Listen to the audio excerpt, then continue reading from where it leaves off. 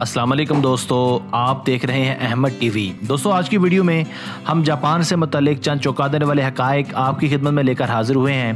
Japan کا شہر Tokyo آج کل ایمانداری میں ساری دنیا میں ٹاپ کر گیا ہے اور جاپانی اقوام پوری دنیا میں نمبر ون قوم بن چکی ہے۔ یقیناً یہ سوال ہر کسی کے ذہن میں ضرور آئے گا کہ جاپانی قوم دنیا میں پہلے نمبر پر کیسے آئی۔ تو آج اسی حوالے سے ہم یہاں جاپان سے متعلق چند چونکا دینے والے حقائق پیش کر رہے ہیں، جو کسی حد تک جاپانی قوم کے اس اعزاز کی وجہ سمجھ آتے ہیں۔ نمبر ون دوستو، جاپان میں پہلی جماعت سے لے کر تیسری جماعت تک بچوں کو ایک ایسا سبجیکٹ بھی پڑھایا جاتا ہے، جس میں انہیں روزمرہ کے معاملات اور لوگوں کے ساتھ برتاؤ کی اخلاقیات کے بارے میں سمجھایا اور بتلایا جاتا ہے۔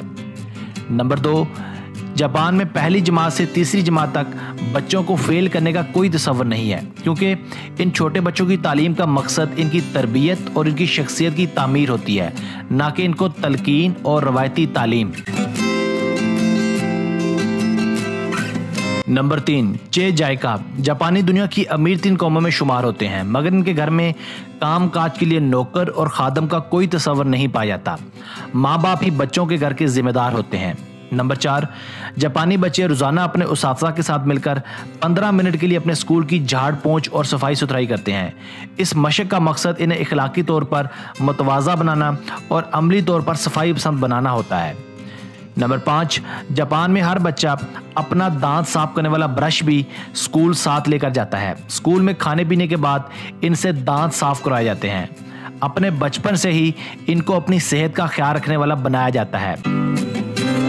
اسکولوں میں اساتذہ اور منتظمین کھانے کا معیار جانچنے اور بچوں کی سلامتی کو یقینی بنانے کے لیے طلباء سے آدھا گھنٹہ پہلے کھانا کھاتے ہیں، کیونکہ وہ سمجھتے ہیں کہ یہی بچے جاپان کا مستقبل ہے اور ان کی حفاظت کا یقینی بنانا کتنا اہم ہے۔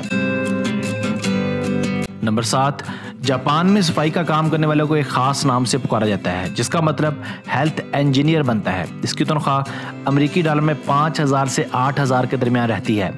اس ملازمت کے لیے امیدوار باقاعدہ زبانی اور تحریری امتحان پاس کرتے ہیں۔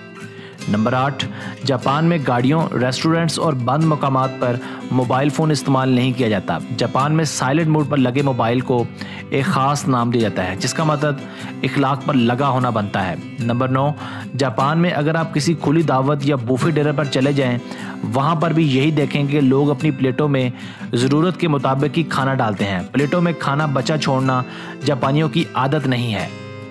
نمبر دس، جاپان میں سال بھر گاڑیوں کی اوس تاخیر سات سیکنڈ تک ہوتی ہے۔ جاپانی وقت کے قدردان ہیں اور منٹوں سیکنڈوں کی بھی قدر جانتے ہیں۔ نمبر گیارہ، بہت خوب، لیکن ایک ضروری بات وہ یہ ہے کہ جاپانی امیر نہیں ہوتے۔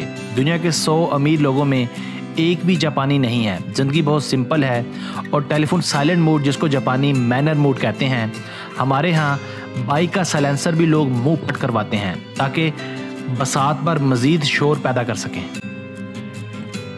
دوستو، آپ دیکھ رہے تھے احمد ٹی وی۔ اگر آپ کو یہ ویڈیو پسند آئی ہے، اس ویڈیو کو لائک اور شیئر کرنا نہ بھولیے گا۔ اگر آپ نے اب تک احمد ٹی وی سبسکرائب نہیں کیا، تو ابھی سبسکرائب کر لیں، کیونکہ ہم آپ کے لیے ایسی ویڈیوز مستقبل میں بھی لے کر حاضر ہوتے رہیں گے۔ ہمیں آپ کے کمنٹس کا شدت سے انتظار بھی رہے گا۔ Thanks for watching this video keep watching Ahmed T V.